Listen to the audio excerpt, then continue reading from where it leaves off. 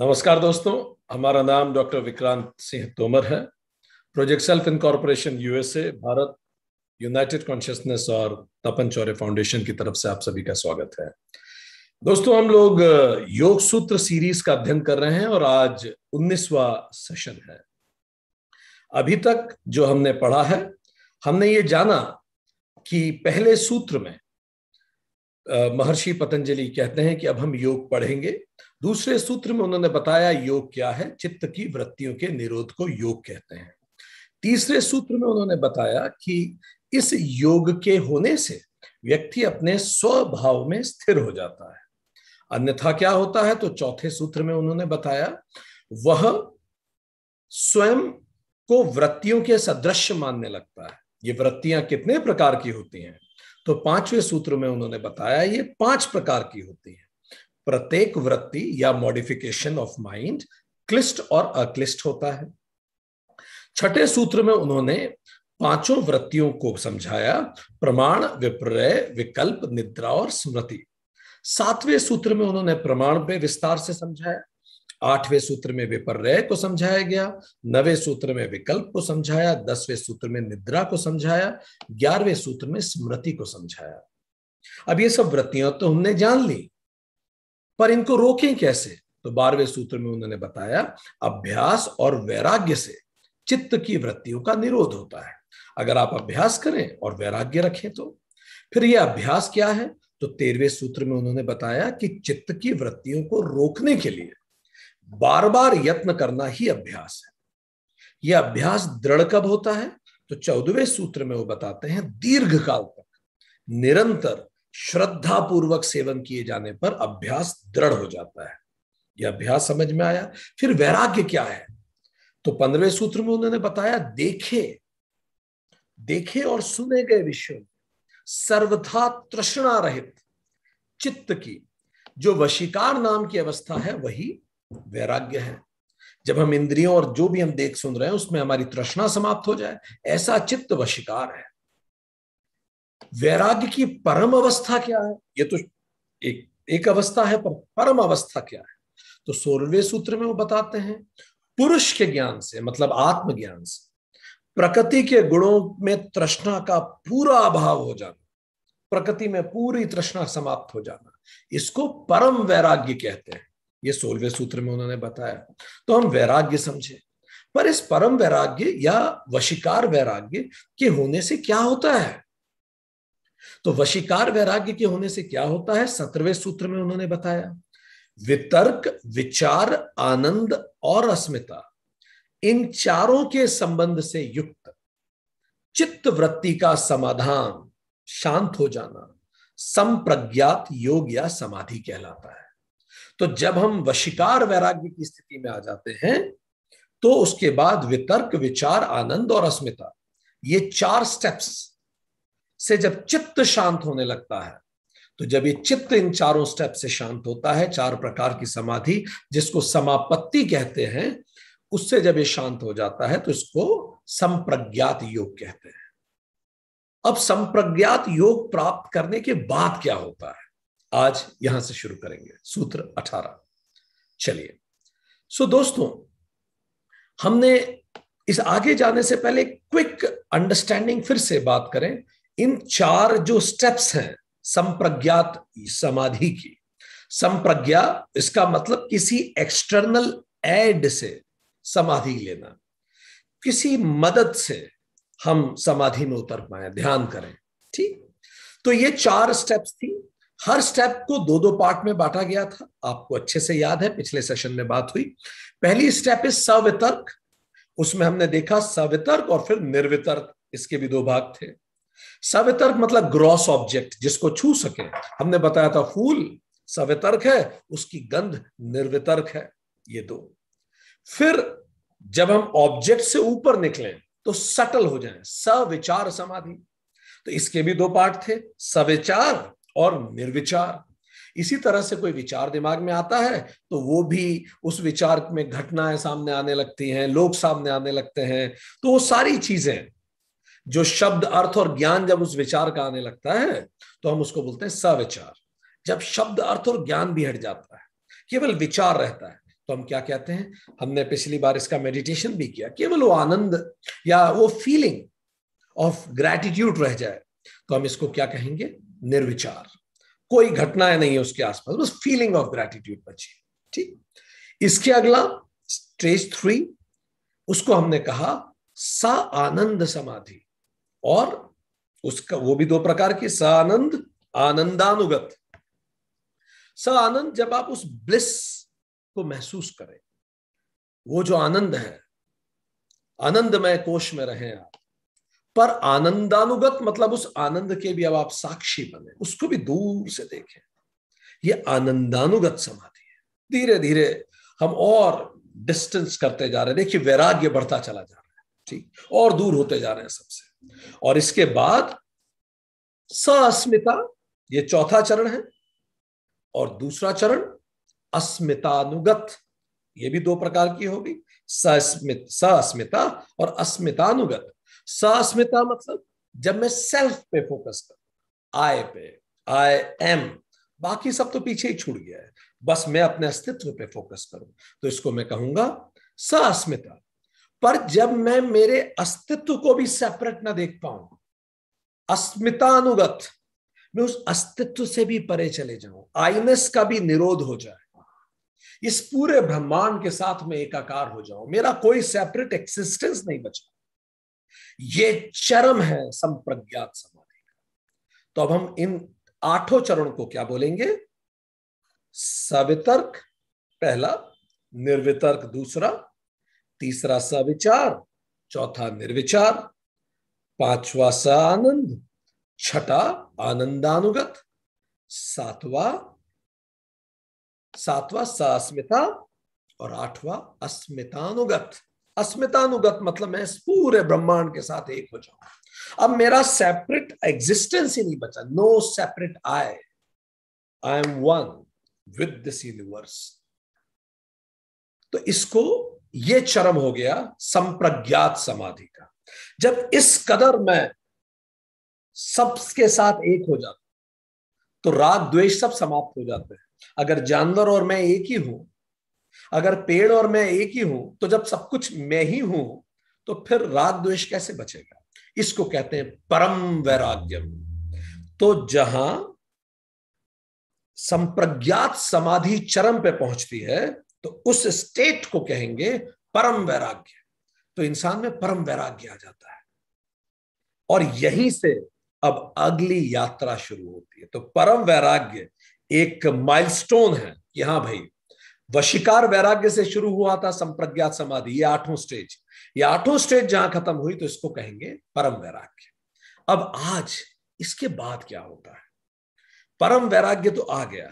अब आगे क्या? आज अब उसकी बात शुरू होगी। बहुत खूबसूरत। सूत्र अठारह। हम बात कर रहे हैं, परम वैराग्य के बाद क्या? जब हमने अस्मितानुगत समाधि तक हम पहुँच गए हैं। जब हम संप्रज्ञात जितना भी किसी साधन से किया जा सकता है, वो सब कुछ कर चुके हैं। पर हम आपको ये बताएँ पहले भी, आपको पता है संप्रज्ञात समाधि को ही सबीज समाधि कहते हैं। परम वैराग्य तो है, पर अंदर बीज है वो फिर से प्रस्फुटित हो सकता है। जनरल जीवन में पूरी तरह से वैराग्य आ चुका है। पर कहीं दूर, बहुत अंदर, गहराई में, वासना में, बहुत गहरी वासना में, कहीं कोई एक बीज है। संभव है कि वो फिर से प्रकट हो जाए। तो इसीलिए ये संप्रज्ञा समाधि, सबीज समाधि है। ये ध्यान रखें हम। बीज अभी भी है। आगे बढ़ते हैं। सूत्र अठारह। विराम प्रत्यया अभ्यास पूर्व संस्कार शेष अन्य। इसका शाब्दिक अर्थ है, विराम प्रत्यय के बार बार अभ्यास करने से, जब मानसिक क्रियाएँ शांत होकर केवल संस्कार शेष रह जाते हैं तो वह असंप्रज्ञात समाधि है। इसका क्या मतलब? देखिए, अब शब्द आ गया है, असंप्रज्ञात समाधि। परम वैराग्य के बाद अब रास्ते खुल रहे हैं। तो हुआ क्या? वही आठों जो चरण थे, जिसको हमने संप्रज्ञात या सबीज समाधि कही तो अब महर्षि पतंजलि कह रहे हैं, जब इसके बाद इंसान लगातार अभ्यास करता है और अभ्यास कीजिए इसी का। अस्मितानुगत को और अभ्यास कीजिए। तो धीरे धीरे मन अब पूरी तरह से आपके वश में आ जाता है। किसी भी तरह के भोग के प्रति नहीं भागता। ठीक? विराम लग जाता है पूरी तरह से। इसको क्या कहते हैं? विराम प्रत्यय। ये फुल स्टॉप है। अब मन नहीं भागेगा। फुल स्टॉप ठीक? पर याद रखने की बात है रूटीन में मन नहीं भागेगा, पर कहीं दूर अंदर गहन वासना का एक बीज अभी भी है, पर ऐसे मन कहीं नहीं भागता। बिल्कुल इंसान पूरी तरह से विराम विराम मतलब रिस्ट्रेंट प्रत्यय मीन सेकेंडरी कंडीशन तो मीन समथिंग जिससे रिस्ट्रेन आ जाता है। सो विराम प्रत्यय mean something that brings restrain पूरी तरह से फुल स्टॉप लगा। और इसी को हम क्या कहेंगे? विराम प्रत्यय से क्या होता है? परम वैराग्य हो जाता है। हम पहले बता चुके हैं। तो विराम प्रत्यय क्या है? जब संप्रज्ञात समाधि को हम बार बार प्रैक्टिस करते हैं तो विराम हो जाता है, फुल स्टॉप लग जाता है। और फुल स्टॉप लगने के बाद जो आता है, विराम प्रत्यय के बाद जो आता है, उसको बोलेंगे परम वैराग्य। परम वैरागी हो जाता है व्यक्ति। आप बिल्कुल तैयार है। परम वैराग्य का मतलब अब अभ्यास भी समाप्त।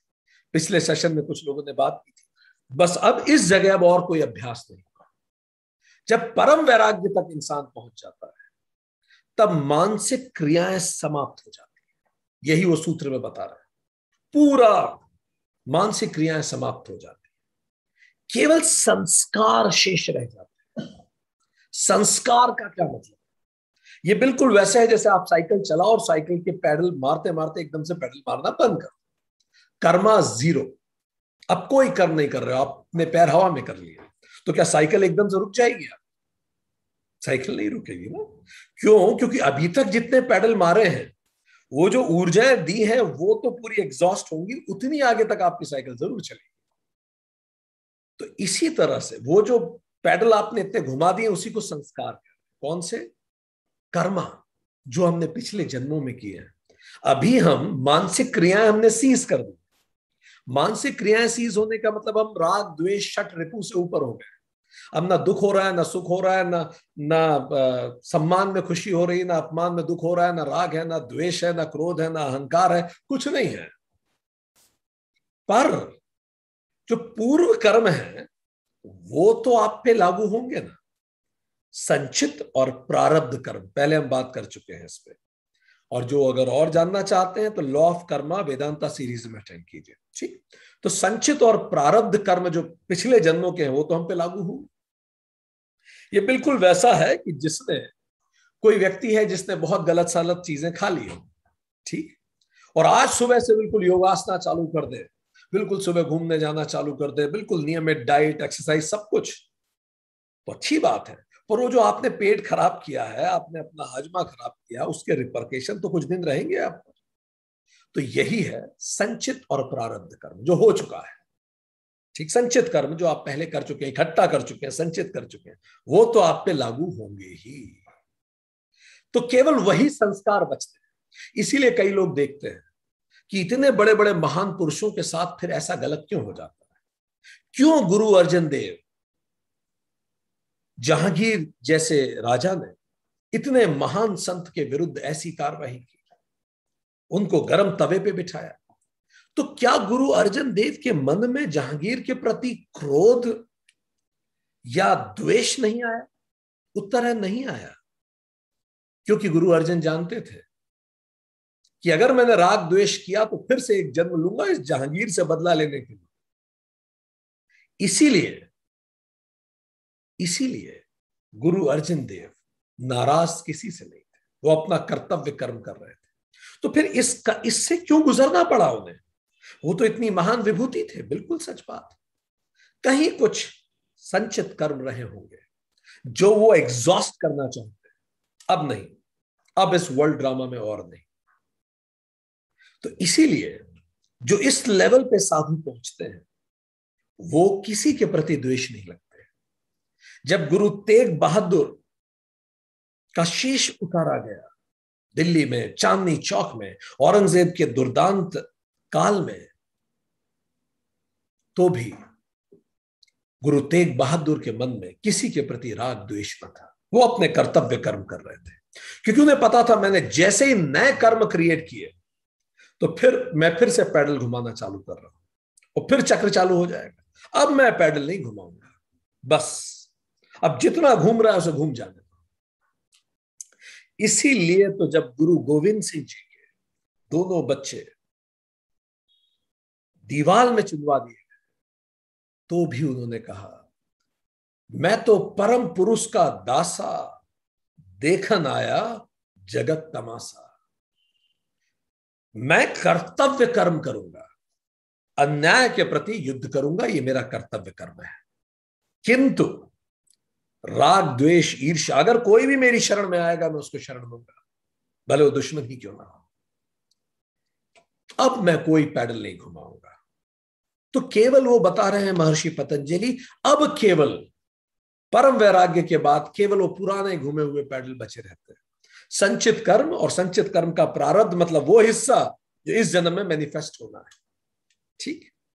तो ये जितनी भी वृत्तियाँ हैं वो जो हमने पाँच वृत्तियाँ पढ़ी थी, या शट रिपु भी पढ़े, कुछ भी किसी भी प्रकार की छोटी सी भी वासना है, वो केवल बीज रूप में या संस्कार रूप में रह जाती है। पिछली कुछ वृत्तियाँ कुछ मैनिफेस्ट हो सकती हैं, पर अब कोई नया कर्म नहीं। हम्म। यही कारण है, महापुरुषों को जब आप धरती पे दुख भोगते देखते हैं तो एक्चुअली आप उनसे पूछें तो आप दुखी, वो दुखी नहीं है। हम वो देख के लगता है कि वो कितने दुखी होंगे। क्योंकि हमें पता है कोई भी व्यक्ति ऐसी स्थिति में दुखी होगा ही। पर हम ये भूल जाते हैं, वो हमारी स्थिति में नहीं है। वो परम वैराग्य की स्थिति में उन्हें दुख नहीं होगा, वो अपना कर्तव्य कर्म जानते हैं और वो उनको पता है वर्ल्ड ड्रामा है। गुरु गोविंद सिंह ने तो स्पष्ट कहा कि देखना आया जगत तमाशा। जब बार बार आप इस परम वैराग्य के दौरान, अब अभ्यास की भी ज़रूरत नहीं होती। जब परम वैराग्य स्थिर हो जाता है, तब इसी को कहते हैं असंप्रज्ञात सबीज समाधि। अब हमने बोला, कोई प्रयास नहीं। अब आप ऑलरेडी यू आर देयर पर वो बीज है। तो आप किसी एक्सटर्नल मदद की तो ज़रूरत ही नहीं बची। You are in that state of mind आप निरंतर समाधि में कोई एक्सटर्नल ज़रूरत ही नहीं है, पर वो बीज अभी भी है। तो चूँकि कोई एक्सटर्नल मदद नहीं चाहिए तो हमने इसे क्या कहा? असंप्रज्ञात। अब ये बुद्धि से नहीं हो रही आपके बीइंग से हो रही है। सम प्रज्ञा अब इसमें बुद्धि नहीं अभी आपके बीइंग से हो रही है। फाइन इट्स योर बीइंग आप ही हैं आप एक खो गए हैं समाधि से। पर बीज है इसलिए इसे सबीज कहेंगे। ठीक? सो असंप्रज्ञात सम, सबीज समाधि को थोड़ा समझ लें। ये कब आ रही है? संप्रज्ञात समाधि के बाद। असंप्रज्ञात शुरू हो गई है पर ये पहली सबीज है। तो इसके कुछ फीचर समझ। चेतन मन की क्रियाएँ नहीं होती। मन में कोई क्रियाएँ नहीं होती। फूल खिलता है, आप देखते हैं। फूल मुरझाता है, आप देखते हैं। नई कार आती है, आप देखते हैं। कार का एक्सीडेंट हो जाता है, आप देखते हैं। मकान बनता है, आप देखते हैं। मकान टूट जाता है, आप देखते हैं। घर में एक व्यक्ति पैदा होता है, आप देखते हैं। एक व्यक्ति मर जाता है, आप देखते हैं। कोई क्रिया नहीं। विराम प्रत्यय, संभाव। ठीक? है मन में हलचल खत्म। विचार नहीं, कोई विचार नहीं। आप साक्षी रहते हैं। अहंकार नहीं, कोई लिमिटेड आइडेंटिटी नहीं। आप इस पूरे ब्रह्मांड के साथ एक हो चुके हैं, प्रकृति लय है। द्वैत नहीं, आप पूरे ब्रह्मांड के साथ एक हो चुके हैं, ठीक? अचेतन मन में पूर्व संस्कारों के बीच, हाँ, ये रहेगा। चेतन में नहीं, अचेतन में। पूर्व संस्कार रहे। आत्मसत्ता का भान हो, आत्मसत्ता का भान हो जाएगा। ठीक। आत्मा की प्रकृति से पूर्ण संयोग, आत्मा सेल्फ कंप्लीट सेल्फ रियलाइजेशन नहीं होता इसमें। इसको मुक्ति या मोक्ष नहीं कह सकते, क्योंकि सबीज है ये। सो आत्मा परमात्मा एक नहीं होती अभी भी। ठीक। अभी आप प्रकृति से एक हो चुके प्रकृति लय हो चुके कमांड ओवर प्रकृति। आप इस माया को समझ चुके हैं। ठीक तो इसके बाद क्या होगा? इसके बाद आपको पुनर्जन्म लेना पड़ेगा। कितना सुंदर शास्त्रों में कहा है, जिस प्रकार डुबकी लगाने वाले व्यक्ति को एक निश्चित समय के उपरांत ऊपर आके सांस लेनी ही पड़ती है और फिर नीचे जाता है। इसी प्रकार असंप्रज्ञात सभी समाधि वाले को एक बार तो जन्म लेना ही पड़ता है। क्योंकि यही आके उस बीज को खत्म कर पाएगा, बीज को जलाता है वो आके। इसलिए धरती पे आना बड़ा कीमती है, जन्म लेना बड़ा कीमती है। तो इस बीज को मिटाने हैं तो पुनर्जन्म लेगा, पर वो जन्म अंतिम होगा। बस सीस्ट अब कुछ नहीं। अब कुछ नहीं। यही जो गुरु अर्जन देव थे, गुरु तेज बहादुर, गुरु गोविंद सिंह जी वो, वो बीज मिटाने के लिए आए। बस अब जन्म नहीं होगा। ठीक। जिसमें व्यक्ति निर्बीज संप्रज्ञात समाधि को प्राप्त हो जाएगा। अब गौर से देखिए प्रयास खत्म परम वैराग्य के बाद प्रयास खत्म है। अब ये स्वतः होगा। आप already you are there but कुछ संस्कार शेष। तो अब क्या होगा? जिसमें व्यक्ति निर्बीज असंप्रज्ञात समाधि को प्राप्त हो जाएगा। और पैदा होगा और रामकृष्ण परमहंस की तरह वो परमहंस बन के चला जाएगा। जीवन मृत्यु के चक्र से मुक्त हो जाएगा। तो ये अगली स्टेजेस है। खूबसूरत है। आई लव इट सूत्र उन्नीस में महर्षि पतंजलि आगे जोड़ते हैं। भव प्रत्ययो विदेह प्रकृति लयानाम।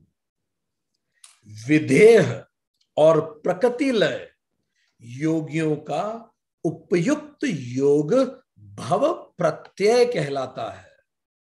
अब ये एक और इंटरेस्टिंग और महत्वपूर्ण बात उन्होंने उठाई। फिर से सुनते हैं।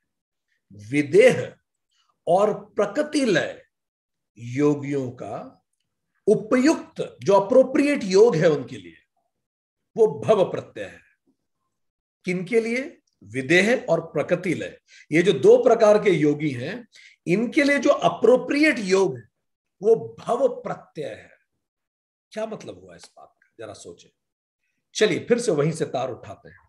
संप्रज्ञात। हमने बताया था संप्रज्ञात में लेवल थ्री और फोर कौन से थे? स आनंद और आनंदानुगत। और अंतिम क्या था? अस्मिता और अस्मितानुगत। तो अब गौर से सुनिए। ये जो आनंद और आनंदानुगत वाले लोग हैं, जो इस लेवल की समाधि पे आ चुके हैं संप्रज्ञात यहाँ तक समापत्ति में आ चुके हैं। ठीक? इस लेवल की समाधि पे आ चुके हैं।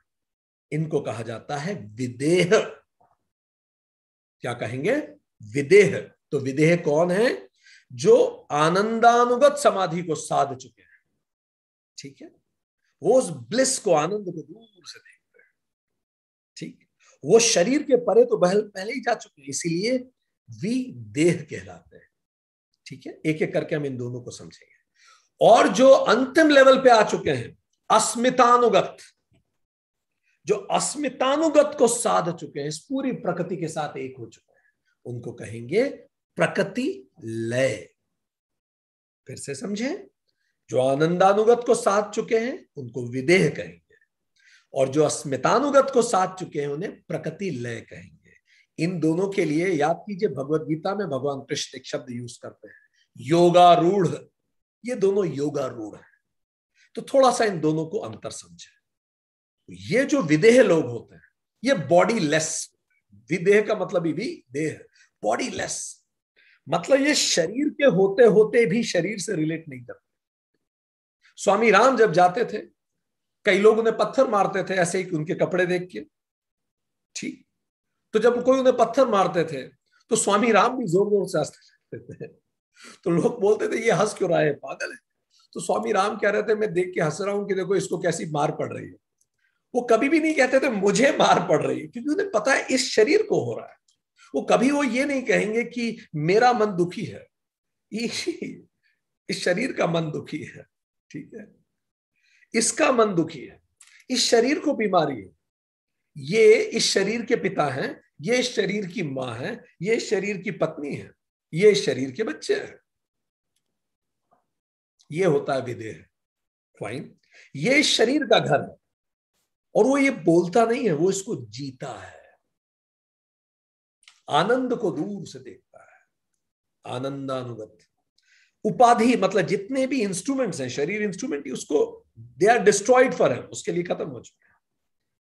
फ़िज़िकल बॉडी से वो रिलेट नहीं करता। जैसे एक मटके के पानी को अगर आप समुद्र में डाल दें तो कुछ समय बाद मटके का पानी समुद्र के पानी से मिल जाता है। और उसकी सेपरेट आइडेंटिटी बॉडी आइडेंटिटी खत्म हो गई उसकी। ठीक। तो आनंदमय कोश में रहता है। डजेंट आइडेंटिफाई विद बॉडी ऐसे लोगों को हम कहते हैं विदेह। ये जीते हैं इस तरह का जीवन। राजा जनक को कहा जाता था विदेह। विदेह का मतलब ये शरीर और शरीर के संबंधित हर चीज़ को मैं दूर से देखता हूँ। मैं खुद को उससे डिफाइन नहीं करता। न जाति से, न लिंग से, न वर्ण से, न धर्म से, न रिश्तों से, न नातों से, न परिवार से, न गोत्र से, किसी से नहीं। मेरा ना कोई गोत्र है। याद कीजिए, निर्वाण षटकम। चलिए, आगे ये हो गया विदेह। फिर प्रकृति लय कौन है? विदेह शरीर के परे हो चुका है। ठीक। पर प्रकृति लय, जो अस्मितानुगत से उसने वो समाधि साध ली है उसकी कॉन्शियसनेस इस प्रकृति से लय हो चुकी है। प्रकृति लय हो गया है। ठीक। Dissolve in the matter he has conquered the nature वो इस माया को समझ गया है। वो ये जानता है कि वो एक ही है जिसका ये सारे रूप मैं ही तो वृक्ष हूँ और मैं ही जानवर हूँ। महाराष्ट्र के महान संत ज्ञानदेव जी, जब वो बहुत छोटे थे उनका नाम ज्ञान था तो वहाँ के कुछ पंडित चिढ़ते थे और वो उनका यज्ञोपवित नहीं करने देना चाहते थे। तो उन्होंने तो वहीं जब वो बात चल रही थी, उनके पिताजी रिक्वेस्ट कर रहे थे कि ज्ञान का यज्ञोपवित करने दीजिए आप। पंडित मना कर रहे थे। अचानक रास्ते से एक भैंस को एक आदमी हंटर मारता हुआ ले जा रहा था, भैंसे को। और कह रहा था हंटर मारते चल ज्ञान, चल। भैंसे का नाम ज्ञान था। अच्छा ज़्यादा उम्र नहीं थी यज्ञोपवित मतलब पाँच सात साल के थे, ज्ञानदेव जी छोटे से, ठीक है। तो उन ब्राह्मणों ने हँसी उड़ाते हुए कहा, ये बैसा और तुम में कोई अंतर नहीं। पर ज्ञानदेव जी तो प्रकृति लय थे। उन्होंने कहा, आपने सही कहा, मुझमें और बिस भैसे में कोई अंतर नहीं है। उन्होंने तो तोहीन के रूप में कहा था। और ये कह के उन्होंने आँख बंद कर ली, ज्ञानदेव जी ने। और जैसे उन्होंने आँख बंद करी, अगला हंटर जैसे उसने भैंसे पे मारा, उस आदमी ने जो भैंसे को लेके जा रहा था, ज्ञान नाम के भैंसे को, अचानक उनकी पीठ पे निशान आ गया, जैसे किसी ने तेज मारा। तब वो जितने भी ब्राह्मण थे, चकित रह गए। ये होता है प्रकृति लय होना, एकाकार होना। रमन महर्षि कहा करते थे, जब उनसे कोई कहे कि दूसरों से कैसे व्यवहार किया तो रमन महर्षि मुस्कुरा के कहते थे, कोई भी दूसरा नहीं है। कोई है ही नहीं दूसरा। ये प्रकृति लय की भाषा होती है। भगवान कृष्ण गीता में कहते हैं, अध्याय पाँच, श्लोक अठारह, अगर आप सच में जानना चाहते हैं कि आप ज्ञानी है कि नहीं तो ज्ञानी समदर्शी होता है। और श्लोक में वो कहते हैं, याद कीजिए, ब्राह्मण, गाय, हाथी, कुत्ता और चांडाल, जिसको समरूप देखे। जो चारों को एक जैसा देखे। कितनी बड़ी विचारोत्तेजक श्लोक है ये, जो कुत्ते को और ब्राह्मण को एक जैसा देख सके, ब्रह्म को दोनों में देख सके। जो चांडाल और ब्राह्मण में ब्रह्म को देख सके, जो गाय और कुत्ते में ब्रह्म को देख सके, जो सब में ब्रह्म को देख सके, वही ज्ञानी है, भगवान कृष्ण कहते हैं। प्रकृति लय, सब में मैं ठीक कारण में लय हो जाता है। Dissolve in the cause Mother Teresa हर व्यक्ति का दुख मेरा दुख। वो कहती थी कि इस दुनिया में प्रेम करने के लिए समय नहीं मिलता। पता नहीं लोग नफरत के लिए कहाँ से समय निकाल लेते हैं। सच बात है। सो so, प्रगति लय कौन है? Doesn't even identify with mind अब वो माइंड के भी परे जा चुके हैं। विदेह बियॉन्ड द बॉडी पर प्रकृति लय माइंड के भी परे वो एक हो गए इस पूरे ब्रह्मांड से। इमोशंस फीलिंग सब कुछ पीछे छूट चुकी है। और वो एकाकार है उस पूरी प्रकृति से। एक हो गए तो ये दोनों संप्रज्ञात समाधि है। हमने आपको बता चुके हैं ये। उसी के चरण है। इस संप्रज्ञात समाधि को जब और प्रैक्टिस करते हैं तो क्या होता है? विराम प्रत्यय आता है। हम ये बता चुके हैं। विराम प्रत्यय से क्या होता है? परम वैराग्य आता है। परम वैराग्य जो स्थिति है, वहाँ अभ्यास समाप्त हो जाता है। और वहीं से असंप्रज्ञात सबीज समाधि शुरू हो जाती है। ठीक? पर असंप्रज्ञात सबीज समाधि के बाद एक जन्म तो लेना ही पड़ता है, उस बीज को खत्म करने के लिए, उसको जलाने के लिए। तो जब कोई व्यक्ति इस तरह मृत्यु को प्राप्त होता है, असंप्रज्ञात सबीज समाधि में। ठीक। तो सूत्र में क्या कह रहे हैं वो? फिर से देखें। अब फिर से सूत्र पढ़ते हैं।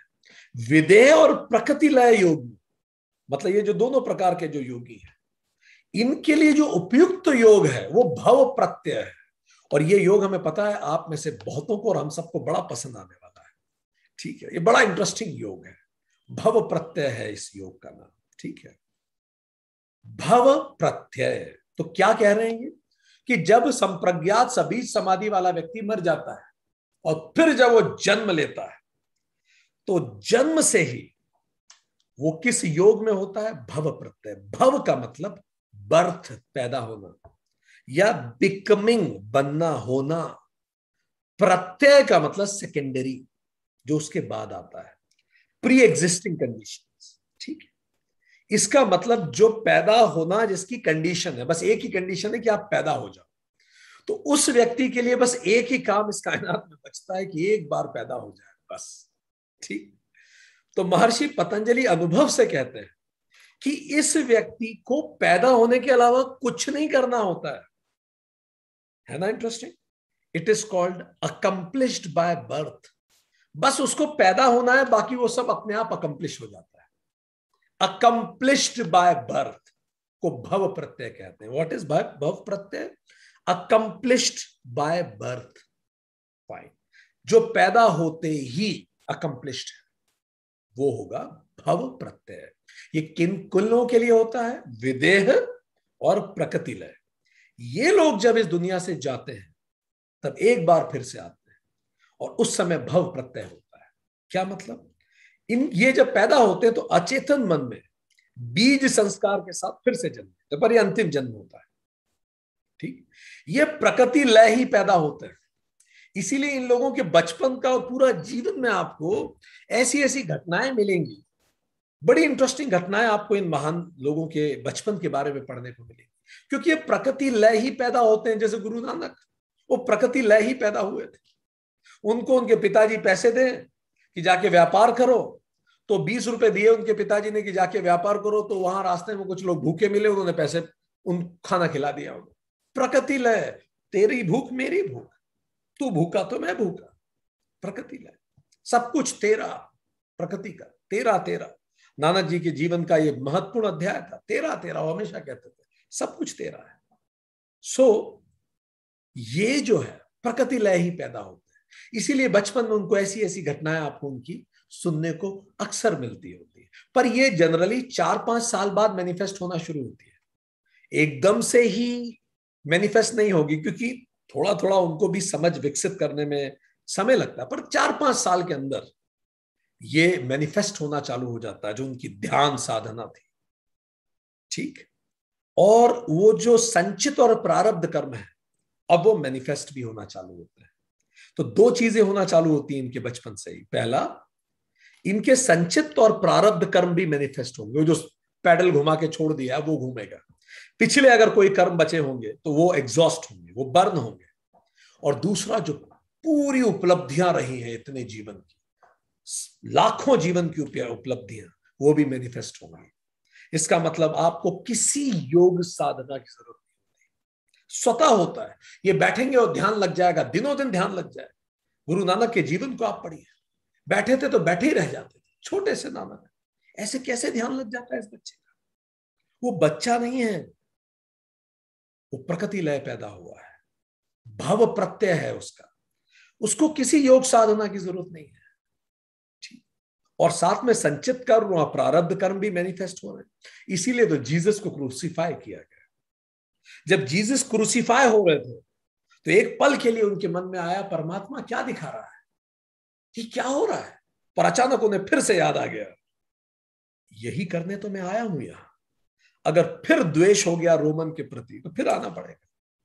फिर तो सारा जन्म ही फजूल हो गया। तब फिर जीसस ने फिर कहा कि परमात्मा इन्हें माफ़ कर। कुछ मेरे मन में इनके प्रति नहीं। ये भी मुझे प्रिय है। ये नहीं जानते क्या कर रहे हैं। फॉरगिव देम ये क्यों हुआ? इतना कष्टकारी क्रूसिफिकेशन संचित करना है। ठीक? पर कई लोग इसको कैसे परिभाषित करते हैं? देखो, अच्छे लोगों के साथ कितना बुरा हो रहा है। बुरा नहीं हो रहा। They are finishing fine Jesus कहते हैं नाइस गायस फिनिश लास्ट अच्छे व्यक्ति आखिरी में खत्म करते हैं। So they are finishing all Ramakrishna Paramhansa का गला दर्द होता था। फोड़े की तरफ़ पकता था। ऐसा दर्द होता था चीख चीख के चिल्लाते थे। नरेंद्र जब नरेंद्र थे, तब ज़रूर पूछा करते इतने महान संत आप, माता आपकी माता है और आपको इतना दर्द दे रही। तो वो भी मुस्कुरा के कहते थे, जब दर्द नहीं हो रहा होता था, कि नरेंद्र, माता मुझे बुला रही है। ये शरीर कैसे तो जाएगा ना? उसको गला रही है। गल जाने दे इसको। और अब मैं जाने का वक्त है। तुझे सिखाने के लिए ही तो रुका था। तुझे भी सिखा दिया। अब बचा क्या है? ठीक? हमें देख के लग रहा है कि देखो, अच्छे लोगों के साथ कितना गलत हो रहा है। गलत कुछ नहीं हो रहा उनके साथ। बस वो अंतिम संचित कर्मों को न्यूट्रलाइज कर रहे हैं। शंकर देव असम के महान विद्वान हुए, बहुत महान विद्वान। सोचिए उनका जीवन कैसा, पैदा होने के कुछ समय बाद उनकी माता की मृत्यु हो गई। उन्होंने शादी की, उनकी जब बेटा हुआ, बच्चा हुआ बेटी हुई तो बेटी होने के कुछ ही समय बाद माता की मृत्यु होगी मतलब उसकी पत्नी, उनकी पत्नी की मृत्यु होगी उसके बाद पूरा जीवन भर बेटी को अकेले उन्होंने बड़ा किया। बेटी की जब शादी की, जब जमाई आए, उनका नाम हरी था तो जमाई की हत्या कर दी गई, गर्दन काट दी गई जमाई। पैदा हो के कुछ समय बाद माता की मृत्यु, कुछ समय बाद बेटी होने के कुछ समय बाद पत्नी की मृत्यु। बेटी को बड़ा करे तो जमाई की कत्ल। अब देखा जाए तो जीवन दुख से भरा है, पर अगर आप शंकर देव का जीवन देखेंगे तो कृतज्ञता से भरा है। क्योंकि उनको पता है अब मैं इस चक्कर में नहीं पड़ने वाला। हम्म, ये ड्रामा अब और नहीं। Period full stop Shankar Devi वो हैं जिन्होंने भागवत का प्रसार पूरा असम में किया। आज असम में जो भागवत के संबंध पे डांस देखते हैं वो सब शंकर देव जी की कृपा है उनकी कॉन्ट्रीब्यूशन नरसी मेहता। इनके जब ये पाँच साल के थे नरसी मेहता इनके माता पिता की मृत्यु हो गई पाँच साल। भाई भाभी ने बड़ा किया, भाभी और भाई को कोई बच्चा नहीं था तो भी भाभी इनको पसंद नहीं करती थी। आप कल्पना कर सकते हैं, रोटी फेंक फेंक के देती थी और बोलती थी, जैसे कुत्तों को दे रही हूँ, ऐसे देती हूँ तो उससे बेहतर तो कुत्ते हैं। नरसी मेहता। फिर जब इनकी शादी हुई, उसके बाद इनके पुत्र की मृत्यु हो गई, इनकी पत्नी की मृत्यु हो गई। इन्होंने ही तो महान गीत लिखा है। वैष्णव जन तो तेने कहिए पीर पराई जाने रे। जो महात्मा गांधी का फेवरेट सॉन्ग था, नरसी मेहता। पर अगर आप नरसी मेहता से पूछेंगे तो उनका जीवन कृतज्ञता से भरा हुआ था फुल ऑफ़ ग्रेटिट्यूड हम लोग देखते हैं दूर से। इसीलिए हमें लगता है कि यार ये क्या हो रहा है, बुरा हो रहा है, ये बुरा कुछ नहीं हो रहा। परफेक्ट हो रहा है। जो होना था वही हो रहा है। इनफैक्ट वो चाहते हैं कि ये हो और इससे गुजर के आगे बढ़े। संचित और प्रारब्ध कर्म रहेंगे महापुरुषों के भी जीवन में। But they have complete control over their mind mental activities पर ये महापुरुष अपने मेंटल एक्टिविटीज़ को पूरी तरह से कंट्रोल रखते हैं। ये सबको ईश कृपा, प्रभु इच्छा मान के स्वीकार करते हैं। कर्मा वोट कंट्रोल देन अब कर्मा उन्हें कंट्रोल नहीं कर सकता कि उसने मेरे साथ बुरा करा तो मैं द्वेष कर लू। वो किसी से द्वेष नहीं करेगा। जो बुरा करेगा उसको भी प्रेम करेंगे। बिकॉज़ उनको अब कोई कार्मिक अकाउंट नहीं क्रिएट करना है। What control the way they think अब उनके कर्मा उनके सोच को प्रभावित नहीं करेंगे। अब वो निर्धारित करेंगे उन्हें कैसे कर्मा है। तो द कर्मा कर्मा मतलब वही संचित कर्म या प्रारब्ध। Won't have any impact on their actions प्रारब्ध कोई भी स्थिति आ जाए वो स्थिति उनके सोच को नहीं बिगाड़ सकती, क्योंकि वो प्रकृति लय है। वो नए कर्म निर्मित ही नहीं करते they are very particular about it absolutely absolutely birth control में वो बिलीव करते हैं। तो नो मेंटल मॉडिफिकेशन अब जन्म आना ही नहीं। और बिल्कुल साक्षी भाव होके न्यूट्रल होके सब कुछ देखते रहना और इस साक्षी की अग्नि में कर्म बीज को भस्म कर जो बचा हुआ कर्म बीज है वो भी भस्म कर देते हैं। और इससे निर्बीज, असंप्रज्ञात समाधि को उपलब्ध होता है। स्व आत्मानुभूति करते हैं, जिसको सूत्र तीन में महर्षि पतंजलि ने बताया। सौ में स्थापित हो जाते हैं और इसी को कैवल्य भाव कहते हैं, मोक्ष प्राप्त करते हैं। इस तरह की इनकी जर्नी होती है। इसको भव प्रत्यय कहते हैं। खूबसूरत जर्नी। और यही वो लोग होते हैं फिर जिनकी हम कहानियाँ पढ़ते हैं। भगवान कृष्ण ने यही तो कहा है कि योगारूढ़, जब अर्जुन घबराता है, याद कीजिए चैप्टर सिक्स में, अर्जुन कहता है कि मैं ये जो सीख रहा हूँ, आप जो बता रहे हैं, कहीं ऐसा तो नहीं कि मैं कहीं का ना रहूँ, ना समाज का रहूँ, ना ही आध्यात्म का रहूँ। तो कृष्ण हमेशा कहते हैं, मेरे भक्त ना प्रणश्यति उनका पतन कभी नहीं होता। तुम बादलों की तरह कभी नहीं बिखरोगे। जो कुछ तुमने सीखा है, याद कीजिए, भगवत गीता, अध्याय छह, श्लोक तिरालीसवा फोर्टी थ्री ऐसे व्यक्ति योगारूढ़ जो होते हैं प्रकृति लय जो होते हैं, वो प्रकृति लय शब्द यूज़ नहीं करते, वो योगारूढ़ शब्द यूज़ करते हैं, पर मतलब एक ही है। ये लोग ज्ञानवान योगियों के कुल में जन्म लेते भगवान कृष्ण बोलते हैं, Gita chapter six verse forty three ज्ञानवान योगियों के घर। ठीक? जैसे महर्षि अरविंद अरविंद महर्षि। इनके पिताजी बंगाल के बहुत बड़े डॉक्टर थे, बहुत ही दयालु, बहुत अच्छे व्यक्ति, परोपकारी व्यक्ति थे। इतना परोपकार करते थे कि इतने अमीर होने के बाद भी कई बार उनके, खुद के पास, अरविंद जी के पास खर्च करने के लिए पैसे नहीं बचते थे। ऐसे योगियों के घर, कुलीन, अच्छे लोगों के घर जन्म होगा। शंकर देव जो है, जिनके बारे में हमने बताया असम के उनके पिताजी शिरोमणि थे। शिरोमणि मतलब विद्वान, महान एक सत्ता संपन्न व्यक्ति। उनके घर शंकर देव का जन्म हुआ। ये ज्ञानदेव जिनकी बात हम कर रहे हैं, इनके पिताजी थे विठल पंत। ये विठल पंत तो बचपन से ही संन्यास लेना चाहते थे। घर छोड़ के भाग गए, पिताजी पकड़ के लाए, ज़बरदस्ती शादी करी। शादी करने के बाद उनमें संन्यास की प्रवृत्ति इतनी तेज थी विठल पंत में कि शादी करने के बाद फिर से भाग गए। और जब शादी करने के बाद भाग गए तो उसके बाद वहाँ गुरु को भी झूठ बोल दिया कि मेरी कोई पत्नी नहीं है, और वहाँ संन्यास ले लिया। फिर जैसे बाय चांस गुरु को पता लग गया तो गुरु ने वापस घर भेजा कि नहीं, तुम पहले ग्रस्त आश्रम पूरा करो विठल पंत को। फिर विठल पंत के चार बच्चे हुए। अब जरा नाम सुनिए इन बच्चों का, आपको समझ में आ जाएगा कि विठल पंत के अंदर कितनी तीव्र इच्छा थी संन्यास की। इनके चार बच्चे थे। पहले बेटे का नाम रखा निवृत्ति निवृत्ति। दूसरे का नाम लिखा ज्ञान। तीसरे का सोपान मतलब चरण। और चौथे का मुक्ता, लड़की का नाम। तो निवृत्ति, ज्ञान, सोपान, मुक्ता, ताकि वही चीज़ बार बार याद आती रहे। ठीक। तो ऐसे विठल पंत के घर ज्ञानदेव का जन्म जिन्होंने बाद में ज्ञानेश्वरी लिखी, जो मराठी में गीता उनका अनुवाद करा हुआ जगदीश जगन्नाथ मिश्र जी के घर किसका जन्म हुआ? निमाई का जन्म हुआ। जगन्नाथ मिश्र जी भी बड़े विद्वान थे। उनके दो बच्चे थे, जगन्नाथ मिश्र जी के। बड़े बेटे, सन्यासी हो गए। छोटे बेटे थे निमाई। और इनको डर लगता था कहीं ये भी सन्यासी ना हो जाए। और हुआ वही, निमाई भी सन्यासी हो गए। और बताइए निमाई का नाम क्या है? आप सब अच्छे से जानते हैं।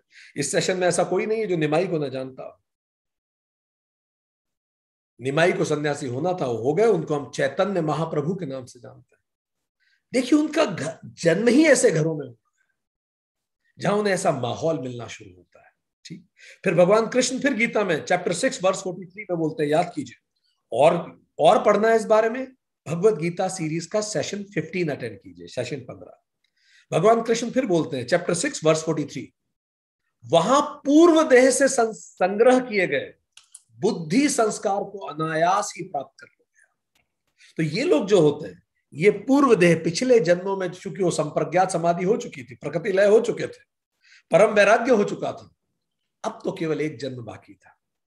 तो ज्ञानदेव बहुत छोटी सी उम्र में गीता पढ़ने लगे थे। बड़े होकर ज्ञानेश्वरी लिख दी। शंकर देव बहुत छोटे थे, तब से भागवत पढ़ने लगे थे।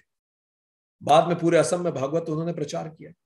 नरसिंह मेहता आठ साल तक बचपन में गूँगे थे। पहला शब्द एक ब्राह्मण, एक ऋषि ने उनके कान में बोला, राधे कृष्ण। और एकदम से उनके मुँह से निकला राधे कृष्ण। आठ साल तक एक शब्द भी ना बोले, मानो ये धार के आए हो, बोलूँगा तो राधा कृष्ण, नहीं तो बोलूँगा ही नहीं। चैतन्य महाप्रभु निमाई, जब वो छोटे थे तो उनके घर में एक संत आए और उन्होंने उस छोटे, आप घर में भी करके देखिए, ये बड़ा इंटरेस्टिंग एक्सरसाइज है। छोटे बच्चे जो स्क्रॉल करते हैं। घुटने घुटने चलते उनके सामने खूब सारी चीज़ें जमा दी। उस फल रख दिए, फूल रख दिए, भागवत रख दी, खिलौने रख दिए, बहुत सारी चीज़ें रख दी और बच्चे को बीच में छोड़ दिया। अब देखते हैं बच्चा किस तरफ़ बढ़ता है। चैतन्य महाप्रभु इतने छोटे थे, स्क्रॉल करके भागवत की ओर चले। और भागवत से खेलने लगे। भागवत ग्रंथ से ऐसा खींचता है संस्कार आपको। मतलब निकाल के लाएगा वो। यह है भव प्रत्यय। आपको कुछ नहीं करना है, वो स्वाभाविक होगा। लोगों को लगेगा, इनका कैसे, इनका इंटरेस्ट बना नहीं है। ये आ ही इसलिए चैतन्य महाप्रभु। हरि शब्द जब ये छोटे थे, हरि शब्द सुन के नाचने लगते थे। और फिर इनकी भी जब शादी हो गई तो इन्होंने भी भगवान बुद्ध की तरह घर छोड़ा था। इनकी पत्नी जब सो रही थी तो सोते सोते उनको छोड़ के निकल गए थे। आदि शंकराचार्य जब छोटे थे बचपन से माँ को कहते थे, माँ, मुझे संन्यास लेना, माँ, मुझे संन्यास लेना। माँ लेने नहीं देती थी। ये बात कहाँ से आती थी उनके दिमाग में? भव प्रत्यय, स्वाभाविक रूप से। स्वतः आती है। ठीक। और फाइनली व्यक्ति वहाँ पहुँच ही जाएगा। दाएँ बाएँ करके। आप कितना ही रोक लें, वो पहुंचेगा वहीं, क्योंकि उसके जन्म का ही कारण ही वही है। एक बार शंकराचार्य नहा रहे थे। एक मगरमच्छ ने पैर पकड़ लिया उनका। अब मगरमच्छ ने बच्चे को पकड़ लिया, अब तो खेल खत्म। उनकी माँ वही थी। तो उन्होंने माँ से चिल्ला के बोला, माँ, अब तो मैं वैसे ही मरने वाला हूँ। आप मुझे सन्यासी होने का अनुमति दे दीजिए, ताकि कम से कम मैं सन्यासी होके मर सकूँ। माँ की भी करुणा से आँसू निकला। माँ ने बोला हाँ बेटा, तू हो जा सन्यासी, तुझे जो करना कर। जैसे ही माँ ने बोला हाँ बेटा, तू सन्यासी हो जा। मगरमच्छ पैर छोड़ के चल दिया। सारी कायनात कॉन्स्पिरसी करती है। उस प्रकृति लय को वहाँ ले जाने के लिए, जहाँ के लिए वो आया है। कभी कभी तो कोई बुद्ध होता है। कभी कभी तो धरती पे ऐसे लोग आते हैं। इसलिए सब कुछ वैसा अनुरूप होने लगता है। कभी कभी तो धरती पे मीरा आती है। पाँच साल की उम्र में किसी का प्रोसेशन निकल रहा था, शादी की बारात निकल रही थी। छोटी सी मीरा ने माँ से पूछा, मेरा दूल्हा कहाँ है? माँ ने भगवान कृष्ण की मूर्ति के सामने ले जाके खड़ा कर दिया, यही यही तेरे दूल्हे हैं। बस उस दिन से मीरा कृष्ण प्रिया बन गई। पूरा जीवन उन्हें जहर पिला दो। पाँच साल के बच्चे में इस तरह का लगाव। वेंकट रमन सोलह साल के थे। उनके घर एक मेहमान आए। खाना खाते खाते मेहमान से पूछा उनके पिताजी ने, कहा से आए हैं? तो मेहमान ने बताया, मैं अरुणाचलम से आया पता नहीं क्या हुआ वेंकट रमन को। अरुणाचलम? और और बताओ मुझे उसके बारे में। अरुणाचलम उन्होंने नहीं सुना था, पर उस शब्द उनके कानों में ऐसा गूंजने लगा कि उन्होंने फिर जीवन का लक्ष्य बना दिया, मुझे अरुणाचलम ही जाना है। आपको पता है, घर से पैसे चोरी करके भागे अरुणाचलम जाने के लिए। इस कदर होता है भव प्रत्यय। और उनको आज आप रमन महर्षि के नाम से जानते हैं। ये पैदा कहाँ हुए थे? इनका घर मदुरई में मंदिर और इनका घर पास पास घर से मंदिर से लगा हुआ था। ऐसे माहौल में ये लोग पैदा होते रामानुजन 16 साल की उम्र में तो पूरा वेद अध्ययन कर दिया था। क्यों? क्योंकि इनका घर श्री पेरम्बूर मंदिर में था। ये मंदिर में पैदा होकर मंदिर में बड़े हुए। भगवान कृष्ण कहते हैं गीता में, ये ऐसे ही जगह पैदा होंगे। जैनों के जो नाइनटीन तीर्थंकर हैं, Mallinath she is a female and probably the only female तीर्थंकर, वो बचपन से उनमें वो आध्यात्मिक गुण थे। तो ऐसे अनगिनत आप केसेस देख सकते हैं। भगवत गीता में भगवान कृष्ण अध्याय छह, श्लोक पैंतालीस में कहते हैं, अनेक जन्मों से के संस्कार के बल से इस जन्म में संसिद्धि को प्राप्त करेंगे। भगवान कृष्ण बोल चुके हैं कि अनेक जन्मों के संस्कार के बल से इस जन्म में संसिद्धि को प्राप्त करेंगे और संपूर्ण शुद्ध होकर परम गति को प्राप्त करेंगे। ये होगा भव प्रत्यय इसीलिए दोस्तों, हमारे घर में जो हमारे बच्चे हैं, वो हमारे थ्रू आए हैं, हमारे लिए नहीं आए उसकी एक अनंत यात्रा है। वो स्वतः उस यात्रा पे बहेगा। आइडेंटिफाई कीजिए, वो किस लिए आया है? उसके जीवन के उद्देश्य क्या है? और धीरे धीरे उसको उस तरफ़ बढ़ाइए। मदद कीजिए उसकी। क्योंकि आप नहीं करेंगे तो भी जाएगा वो वही। और ये बात केवल महान विभूतियों पर ही लागू नहीं होती। हम सब अपनी अपनी वासना वशाते हैं। वो वासना पूरी करने ही लिए ही तो हम आए हैं, उसको निर्बीज करने के लिए। पर भव प्रत्यय वालों का केवल एक छोटा सा बीज बचता है। हमारे बहुत सारे हम लोगों के शायद पूरी फ़सलें बची है अंदर। उनका केवल एक पौधा बचा होगा, बस वो उखाड़ में आते हैं। ठीक। तो इस तरह से हम देखते हैं जंगलों में जब खरपतवार को उखाड़ा जाता है तो ये क्या करते हैं? खरपतवार को उखाड़ के उसकी जड़ ऊपर करके उसे सुखाते हैं क्योंकि जड़ नीचे रह गई तो फिर से पनप जाएगी। तो जड़ ऊपर रहता है, मुँह नीचे।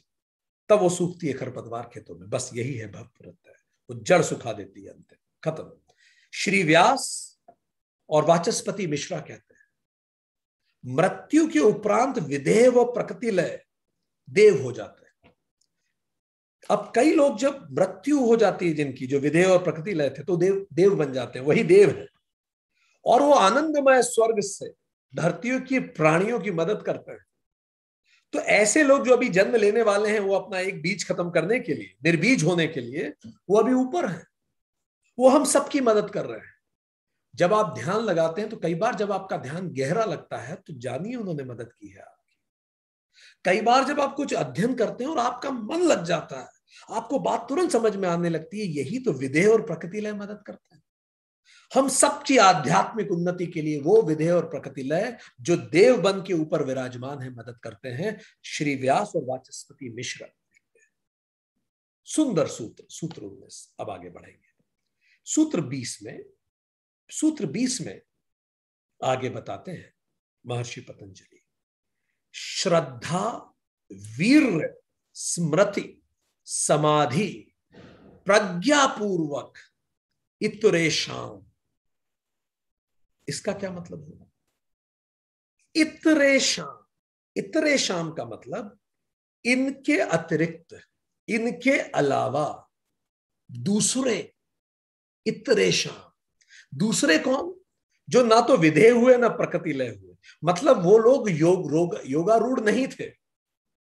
योगारूढ़ नहीं हो पाए।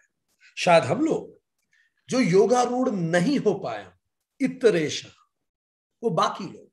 तो बाकियों का क्या होगा, वो अगले श्लोक में बता रहे हैं, ताकि हम लोग होपलेस ना हो। ठीक इतरे शाम बाकियों के साथ क्या होगा? बाकी योगियों को श्रद्धा, वीर, स्मृति, समाधि और प्रज्ञा आदि उपायों से असंप्रज्ञात समाधि की तरफ़ वो बढ़ेंगे। तो बाकी लोग कैसे आगे बढ़ेंगे? वो श्रद्धा वीर स्मृति, समाधि और प्रज्ञापूर्वक। मतलब ध्यान दीजिए, इनको भव प्रत्यय नहीं मिलेगा, इन्हें प्रयास करने पड़ेगा। तो इसको क्या कहते हैं? उपाय प्रत्यय। उपाय प्रत्यय। उपाय प्रत्यय किनके लिए है? जो योग भ्रष्टा है। योगारूढ़ नहीं है विदेह नहीं है, प्रकृति लय नहीं है। जो योग भ्रष्टा है, योग भ्रष्टा कौन होते हैं? जो योग की यात्रा पे चलते हैं, पर उसे पूरी नहीं कर पाते। और उनका ये शरीर, ये जो इंस्ट्रूमेंट है, ये समाप्त हो जाता है। इट डिकेस जीवन समाप्त हो जाता है। ये क्यों होता है? क्योंकि अक्सर ये लोग बहुत लेट ये यात्रा चालू करते हैं। तो इनके शरीर में ताकत ही नहीं बचती। तो जब इनको समझ में आना चालू होता तब तक शरीर खत्म तो ये योग भ्रष्टा हो जाता है। तो ये संप्रज्ञात समाधि को भी नहीं पहुँच पाते ये उसके भी शुरुआती चरणों में रहते हैं। ये कहाँ रहते हैं? याद कीजिए। ये सवितर्क और निर्वितर्क समाधि करते हैं। ये ऐसे प्रयास करते हैं। मैक्सिमम ये ये कर पाते हैं। सवितर्क और निर्वितर्क समाधि जो ऑब्जेक्ट से संबंधित होती है। या फिर इनमें से भी कुछ विरले सविचार और निर्विचार समाधि तक पहुँच पाते हैं, जो माइंड से संबंधित होती है। थॉट्स तो सवितर्क, निर्वितर्क, सविचार, निर्विचार, ये लोग जो हैं, चारों तरह की जो समाधि वाले लोग हैं, संभवतः हम में से अधिकतर लोग। अगर हम इन समाधियों को साध लेते तो कुछ खराब नहीं होगा। ये हमारा ध्यान उपयोगी रहेगा। इस तरह के लोग जब दुनिया से जाते हैं दे आर कॉल्ड योग भ्रष्टा बिकॉज़ उन्होंने संप्रज्ञात समाधि को अचीव नहीं किया। जब ये एक्सपायर होते हैं, जब ये मृत्यु को प्राप्त होते हैं तो जब ये फिर से पैदा होते हैं तो इट इज़ कॉल्ड उपाय प्रत्यय। अकम्प्लिश्ड थ्रू स्पिरिचुअल प्रैक्टिस भव प्रत्यय नहीं होगा इन पे उपाय प्रत्यय चलेगा। उन्हें प्रैक्टिस करनी पड़ेगी। They have to trial lot fine and they try to reach पहले संप्रज्ञात समाधि को पूरा करेंगे। फिर संप्रज्ञात समाधि साध लेंगे, फिर वही रास्ता, उनका भी वही, फिर वहाँ पहुँच जाएँगे। विधेय या प्रकृतिलय हो जाएँगे। तो इनको मीन्स एंड मेथड उपाय करने पड़ेंगे। और उपाय कौन से? पाँच, श्रद्धा वीर स्मृति, समाधि और प्रज्ञा। इन उपायों पर हम विस्तार से अगले सेशन में चर्चा करेंगे। तो चलिए, एक क्विक रिफ्लेक्शन में हमने आज क्या सीखा? हमने ये जाना कि जो आठ स्टेजेस हैं, सवितर्क, निर्वितर्क, सविचार, निर्विचार, आनंद स आनंद आनंदानुगत और सस्मिता स्मितानुगत। इन आठों को साधने से व्यक्ति संप्रज्ञात समाधि को साध लेता है। संप्रज्ञात समाधि पर बार बार अभ्यास करने से, संप्रज्ञात ही सबीज समाधि है। जब बार बार आप अभ्यास करते हो, क्योंकि अभ्यास करने से और सकती है तो धीरे धीरे आप विराम प्रत्यय पे पहुँचते हो। विराम प्रत्यय मतलब विराम full stop modification of mind शांत अब रिस्ट्रेन्ड हो चुका है सब कुछ। अब आप विराम कर चुके हैं। इससे परम वैराग्य इससे परम वैराग्य सिद्ध होता है। परम वैराग्य से अब अभ्यास का जोन खत्म हो जाता है। अब केवल मानसिक क्रियाएँ जितनी भी थी वो सब समाप्त हो चुकी अब संस्कार शेष, संचित और प्रारब्ध कर्म शेष है। बस वो मैनिफेस्ट होंगे।